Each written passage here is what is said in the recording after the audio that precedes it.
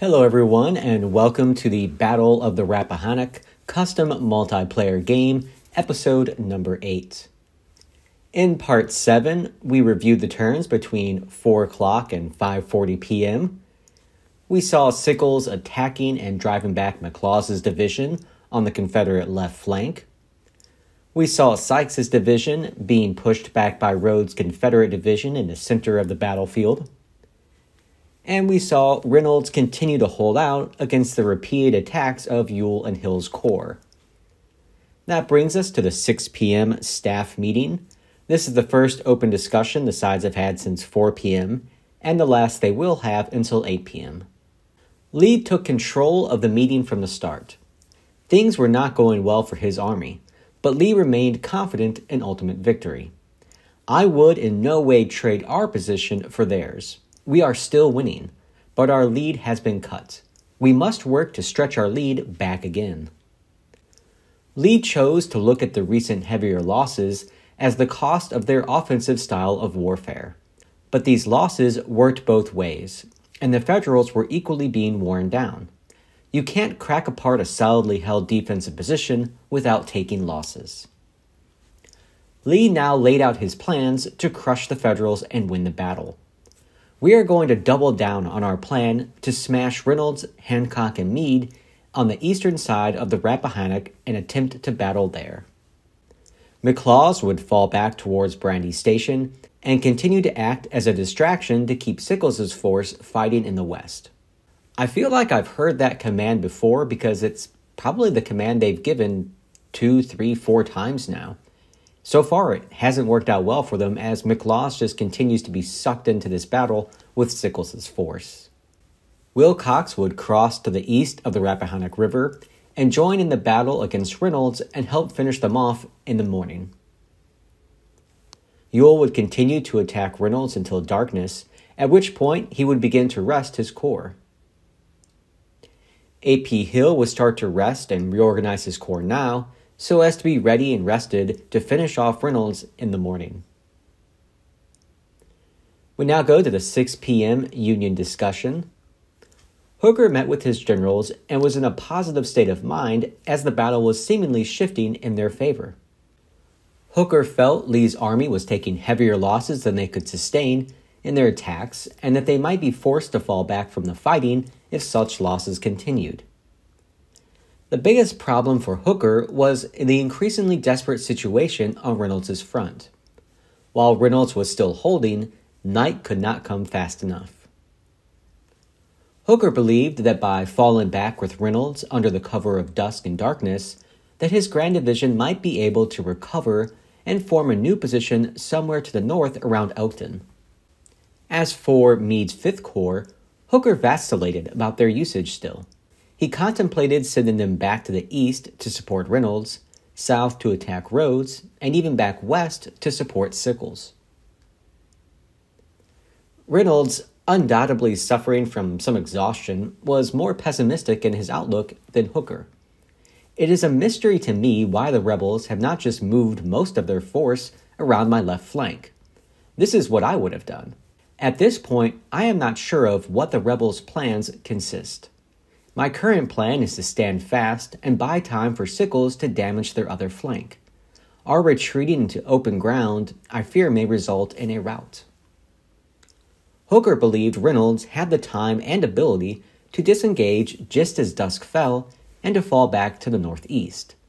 The dynamic now is to reduce your losses and minimize any routing before nightfall, while Sickles continues to hammer away at McLaws. Reynolds urged Meade to completely abandon Tin Pot Ford and to turn his whole force eastward to support his forces then fighting against both Hill and Ewell. Reynolds also believed it would be easier to break out to the northwest rather than to the northeast, as it would bring him closer to Meade's forces, which might act in support of his actions. Reynolds would send his cavalry and supporting units in the east towards Elkton and then try to reunite his forces later in the battle. After some more discussion, Reynolds' plan was approved. Hooker's chief concern was to minimize the losses on Reynolds' front, and this plan seemed to most quickly extricate Reynolds' force from their present predicament. The 6 p.m. Union orders were then issued. Reynolds's plan to break out in two directions was approved by Hooker, and he would commence preparations to do so at once. Meade would stay east of the Rappahannock and move to support Reynolds's actions in any way possible. Sickles would continue his offensive against McLaws' division and seek to cause maximum losses on them in an effort to break the will of Lee's army to keep fighting on this battlefield. So here is my unasked for two cents about everything. First off, the rebel plan remains largely unchanged. They're going to attack Reynolds and fall back with McLaws, which is basically the same thing they've been doing or trying to do for the last four, six, eight hours, it feels like. So far, they haven't yet broken Reynolds, and McLaws has gotten himself in a lot of trouble. The one thing that the rebels did decide to change up is that Wilcox's division is moving to the east. But unfortunately, that's kind of an unrealistic idea. And why do I say that? To be honest, time and distance considerations, they just haven't been taken into account here. Both sides know that the other is likely approaching their limits and should be thinking more about maximizing short term point gains and not worrying about any kind of long term commitments in this battle. Therefore, sending Wilcox all the way to the east just doesn't seem to make sense to me. It is a long term commitment, and Wilcox won't even arrive there until maybe late tomorrow morning, at which point the battle will likely be over. So, sending him on this long march is just a waste of time and a poor usage of his forces. I'd argue Wilcox should move directly west and try to give McLaws a safe harbor to retreat to, probably around Brandy Station. The Union plan is interesting to say the least. Reynolds knows the enemy has infantry and cavalry to the northwest of his position. So, how does this breakout northwest happen then? He's going to have to literally go over and through the Confederates blocking the road to the northwest. And with the other Confederates on his flank and rear, I don't understand how he's going to be able to make it out in that direction. Personally, I'd be heading northeast, especially since they already know that Hampton's division is falling back and away from that flank. For Meade's corps, do something.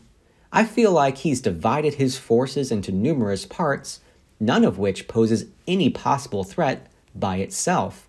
They're all going in different directions, and they just aren't doing anything. They need to condense their force, pick a direction to move, and move out already. Right now, Meade's forces are in what, four or five different spots, all going in different directions, and none of them are any threat at all to the Confederates right now. Lastly, keep rolling with Sickles. If the Federals are going to win this battle, it's going to be because Sickles is able to knock out McLaws' division. So they must keep up the pressure with Sickles' force as long as they possibly can. They must destroy McLaws' division. In reality, neither side should be making any long term plans at this point. As I said before, the end is rapidly coming as the two sides are suffering heavier losses as the battle progresses. All efforts should be aimed at rapid short term point gains over long term strategic thinking. At this point, anything that you have to plan should be planned for maximum impact. You should not be thinking, oh, well, we can move such and such, and in 15, 20, 25, 30 turns down the road, we're going to have a force here and be able to take advantage of this. There's simply not time for that. And that brings us to the end of the 6 p.m. turn. And Sickles has done a good job. He has continued to put the pressure on McLaws' division, which is unable to get out of these woods and back towards Brandy Station. Over in the east, there has been some cavalry action as the Federals have counterattacked against Hampton's forces, which are falling back. They also managed to isolate the 1st North Carolina Battalion and will likely capture them during the next turn. 6:20 p.m. and Kershaw is isolated. Sickles continues to put the pressure on. Let's go ahead and zoom in on that side of the battlefield. So here we have the forces of Sickles and McLaws fighting one another around the Beasley's woods. And the Federals had been advancing in this general direction, trying to get around McLaws's flanks for the last few hours. While the Confederates had been trying to fall back, but pretty unsuccessfully up to this point, to get away from these woods and back towards Brandy Station. They simply aren't moving fast enough. And as a result, this force here has now become isolated. General Kershaw, along with these two isolated South Carolina regiments, will undoubtedly be captured during the next turn. Things continue to go badly for McLaws's division. Pressure in the West. Not only are things going poorly for McLaws's brigades in the Beasley's Woods falling back towards Brandy Station, but McLaws's other brigades are now being hit harder and harder along the turnpike towards Culpeper. And it's becoming more obvious that they might also lose some regiments isolated and captured if they are not careful, as Sickles drives against their forces as well. Over on the other flank, it's kind of the opposite story. The fighting goes on, except here it's the Federals that are trying to hold and the Confederates which are trying to overrun them and there is a rebel opportunity coming up as they put more pressure on the federal lines. So let's zoom in on this area here. On the federal left flank, you can see that they are scrambling to try to throw a force that can stop the Confederates from working around that flank. And although it looks like the Federals have enough troops, most of these forces here are now fatigued and tired. Reynolds's guys are going up against Johnston's division, which is trying to move around their flank. And they've been doing this probably for the last hour or two as they stretch the federal line, trying to see where they can break them. These forces here, though, are the ones that concern me the most. Right now, there are 265 dismounted federal cavalrymen, along with six artillery pieces on a slight hill with some breastworks. But just across the way from them, there's 850 fresh Confederates of Davis's brigade, which, if they are smart, will just attack this direction and melee those forces and capture them. If they're able to get this high ground, they're going to be really hard to dislodge. And that means the Federals will be cut off from their escape route to the north. So, this is a critical turn coming up as the Confederates have a really good opportunity to not just block the Federal way north, but to also capture some guns and bust a hole in the federal line. Also, there's some distractions going on. There are these two units just to the south of the Confederate line, which were bypassed during the initial Confederate attacks. They are now moving to try to get in behind the Confederate line, not really to accomplish much other than to make themselves known and possibly draw off some forces from the Confederates attacking Reynolds. All right, it is now time for a timeout. Both sides are now at the 75% line for their total losses allowed in this battle. At the end of turn 41, the rebels were up by 13 percentage points over the Federals. They were at 64%, while the rebels were at just 52% at the end of turn 41. But now, at the end of turn 45, the exact calculations are as follows. The rebels are at 74.6% of the way to their loss limit. The Federals are 74.2% of the way to their loss limit. So, you know what? Congratulations. The Federals stuck it out after a disastrous start to this battle and the loss of the entire Iron Brigade it would have been really easy for them to just throw in the towel at that point and say, you know what, this battle is not going as planned. We're just going to go ahead and walk away from it. But they did not do that.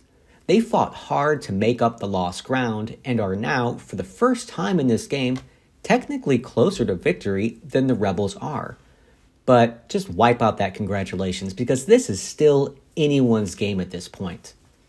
Taking a quick look at the order of battles, which have been updated here, you can go ahead and see that the Confederates have lost 12,867 men, with the heaviest losses occurring in Anderson's 1st Corps. Notable is that Anderson's Corps has lost 47 of their 64 guns so far. This is really hurting them as they don't have enough artillery to stop and threaten Sickles as they advance. For the Federals, they've taken 16,455 losses up until now, with the majority really coming from Reynolds's left Grand Division, which has been engaged really since the battle began. All that means, though, is that we are all tied up. Both sides have taken three quarter losses, which means it is now the fourth quarter. Both sides are at 75% of the way to their loss limit. It is go time. This is a great battle between these two, and they have been punching it out really since the battle began. So, this is going to be a really fun thing to watch as we come down to the wire. This can go anyway, and I really don't know what's going to happen. And I'm pretty darn excited just to see what goes on here. And because of that, I'm going to end this part. So, this is going to be the end of part one of episode eight. And we're going to pick back up with the 6:40 p.m. turn in part two. That way, I've got more than enough time to dissect the turns as we watch and maybe see the end of this battle before night falls. So, what am I looking forward to in the next part? Well, can either side even make it until nightfall? Will one side or the other throw a knockout punch which will end the battle before then. And will Reynolds or McLaws even be able to make it to nightfall? Both are under a lot of pressure right now, and I think the battle hinges on which one breaks or doesn't break first. All right, everyone, thank you for watching. It's getting exciting. I'm having a lot of fun watching this as we progress, and I hope you're enjoying it. Be sure to check out part two, which is coming up soon. Thank you.